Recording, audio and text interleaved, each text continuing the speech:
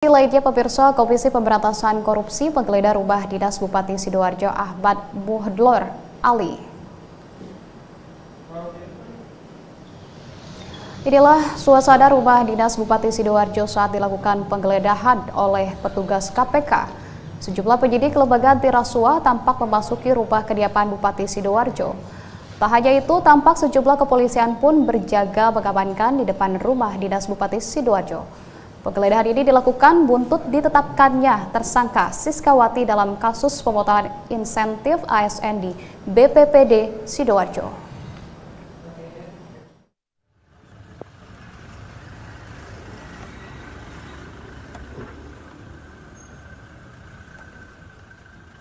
Sementara itu, pemirsa Komisi Pemberantasan Korupsi telah menetapkan Kasubag Umum dan Kepegawaian Badan Pelayanan Pajak Daerah BPPD Sidoarjo terkait kasus pemotongan insentif ASN senilai 2,7 miliar.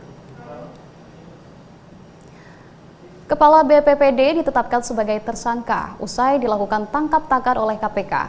Saat dilakukan OTT, KPK juga sempat mencari Bupati Sidoarjo Ahmad Muhdlor Ali. Namun KPK menyebut belum ada indikasi penetapan tersangka maupun pemeriksaan terhadap Bupati Sidoarjo. Sebab pihaknya masih mendalami kasus ini. Dalam operasi tangkap tangan pada Kamis lalu, KPK turut mengamankan 11 orang. Namun hanya Kasubag Umum BPPD Sidoarjo yang ditetapkan sebagai tersangka dan ditahan.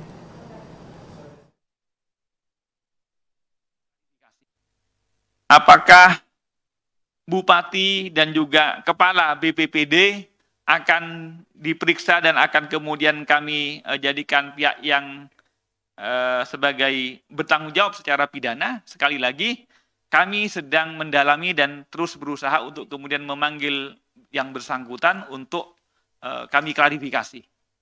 Ini kan masih masih yang tertangkap tangan dan pada hari H itu sesungguhnya kami juga sudah langsung secara uh, simultan melakukan proses uh, berupaya untuk menemukan yang bersangkutan di hari-hari